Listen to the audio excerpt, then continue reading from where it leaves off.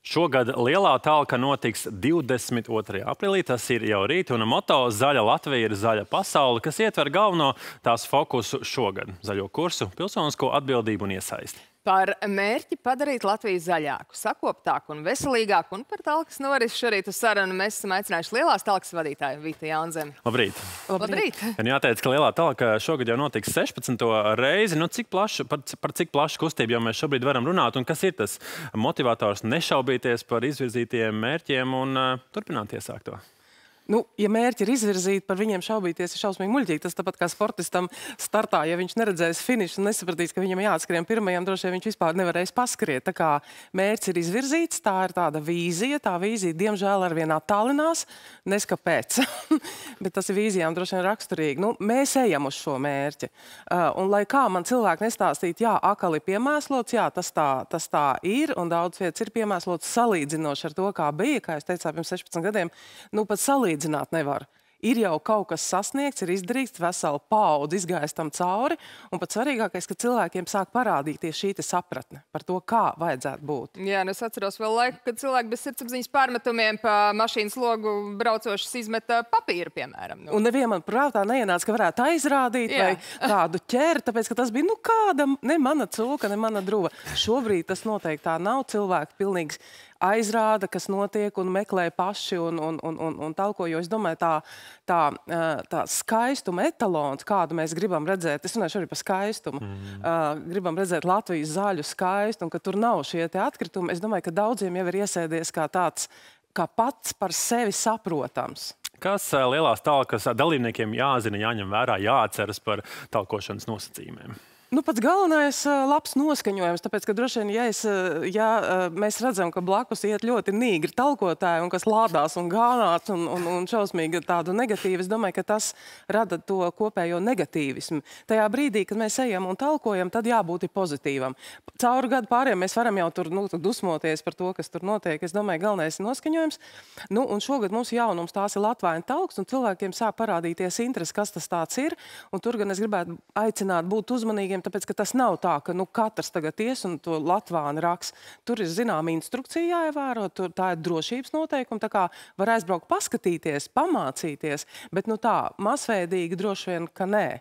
Un, un vēl, tātad, ko es gribēju pateikt, nu, tātad šodien jau vairs pieteikt talkas nav iespējams. Bet Lūdzu, nerakstiet, nezvaniet pār pa tūkstotim, bet tā kā um, pieteikts ir uh, vairāk pat, bet uh, koordinātoriem, kamēr viņi apstiprina, un tad mm -hmm. mēs viņus ieliekam jau kartē, paiet kaut kāds pāris dienas, tā kā mums vēl ir pilna ēpas sabiruši no iepriekšējām dienām. Tā kā lūgums vairs nereģistrēt savas un nepieteikt uh, talkas, bet šie te solo talkotāji, kas bieži vien, kad man jāsaka, pasaka, mēs esam 20 solo talkotāji. Ziniet, nu, vispār, tā ir vesela talka. Jā. Un mums tur ļoti daudz atkritumu. Nu, vajadzēja pieteikt, bet, nu, ja tā ir situācija radusies, nu, tad ejiet uz Rīmī pakaļ tiem solo maisiem. Vienīgais milzīgs lūgums visiem talciniekiem, šiem te solo Tad, kad jūs savācat to savu solo maisu, lai cik viņi tur nebūtu, ieiet kartē telefonā, kur ir uh, piesārņoto tātad šīs te, nu, tās uh, oficiāli reģistrētās, vietas, oficiāli reģistrētās vietas, paskatieties, kur tuvāk ir, kur var redzēt, kur vāc atkritumus, jo tur, tur ir jānāk, sadalīts. Jā. Un aizvedot tos maisus mm. tur, nu, pretējā gadījumā, nu, man jāsaka, nu, būs atkal vēl viena miskasta. Nu, ko darīt ar tādiem lielgabarīta atkritumiem?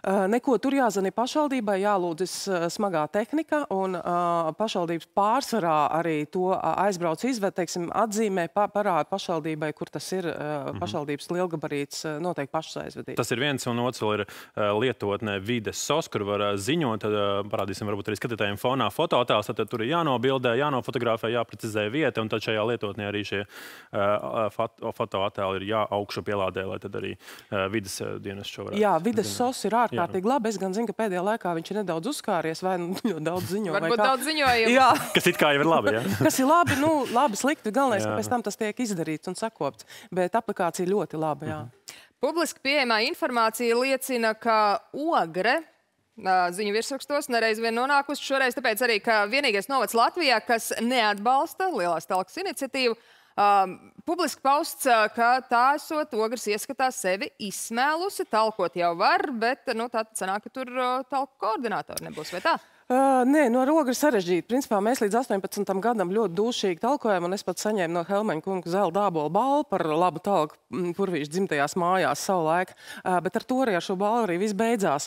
Uh, es nezinu iemeslu. Ogre saka vienu, iedzīvotāji mums saka kaut ko citu. Un šogad jau pagājušajā gadā un aizpagājušajā gadā, tātad trīs gadus Ogre nepiedalās. Eh, tas stāsts sākotnēji, ka ogri viss ir sakopts. Un tas ir super, un es teicu, tas ir tik labi, ka beidzot vienā nodā viss ir sakopts un nekas nav jādara. Bet uh, sūta iedzīvotāji nu, bildes, stāstus, ka tur nav nemaz tik ļoti sakopts. Un šogad uh, mēs kā, kā talka nolēmām, mums biedrība uzrakstīja un pateica vietas, kur, kurā vietā uh, tas ir jādara, jo ogles noveca liels, bet tieši pašā ogrē. Un mēs pateicām, nu labi, nu mēs tad kā talka iedosim maisus, uzsauksim atkritumu aizvešanu un dāvināsim ogles iedzīvotājiem šo iespēju talkot, jo vēlme talkot tā, cilvēkiem ir. Nu, man jāsaka, šī ziņa aizgāja vakar, kad ogrē būs tāda talka, kur mēs atbalstīsim, bet vakar pēcpusdienā mums atnāca nākamā ziņa, ka nu, ir aizliegts talkot. Aizliegts? Jā. Uh, ka, Ar pašvaldības rīkojumu aizliegts? Nu, droši vien ne rakstiski rīkojumu. Tur bija jāsaskaņo, jo mēs, mēs iedavām nu, sarunājumu konteineru, kur bez maksas aizdīs atkritumus, jo ogri tad neved tos mm -hmm. uh, pašvaldību. Ja pašvaldība ved, bet ja pārsvarā tātad pašvaldības, kas uzdevums ir aizvest atkritumus. Nu, mēs visu uzsaucām. Un, uh, mums šī biedrība, tur bija trijās vietās tādas mazas talks paredzētas. Nu, un es saprotu, ka, kad mēģināšu saskaņot vismaz to konteineru atstāt. Nu, tāpēc, ka kaut kur viņš jāatcēl, lai tie cilvēki varētu samest. Un tad ir aizliegts un pateikts, ka nē, ka lai talko privāti īpašumos, kad publiskās vietās talkotājs. Nu, nē. nu, tā kā es teikšu, man nav saprotams, kas notiek ogrē, bet zināms, kurjos tajā visā ir uh, un kas priecē šajā faktā, kad ir iedzīvotāji, kas tā kā nu, neskatoties uz dažādām peripētijām, uh, tā tad vēlas iet un dara, bet nu, finālā tik un tā nesanāk. Bet, nu, Tāds plašāks jautājums par pilsonisko iesaisti. Jā, bet es pieļauju, ka tagad gan šīs vietas, kuras tika nu, kā atzīmētas mm. kā piesārņotas, pašvaldība noteikti savāks, līdz ar to viss jau būs ieguvēji. Jā, vēl piebildīsim, ka slimību profilaks un kontrolas centrs aicina celkas laikā ievērot nu, dažādas drošības pasākumus sakopšanas laikā, nu, izvērtēt veselības stāvokli, uzmanīgi rīkoties ar dažādiem nepazīstamiem, nezināmiem priekšmetiem, lietot atbilstošus eh, cimdus un arī būt piesardzīgiem izmantojot dažādu tehniku. Kas būtu jūsu ceļa vārdi rīt, šorīt, rīt visiem tiem, kas dosies lielajā talkā? Ceļamies, ejam, izdarām. Tā ir viena diena gadā, ko mēs varam noziedot Latvijai, sabiedrībai, mums pašiem. Tikai viena diena. Pieceļamies, izdarām kafiju un ejam dabā. Kur jūs pati talkosiet? Es talkošu Rīgā, Mangais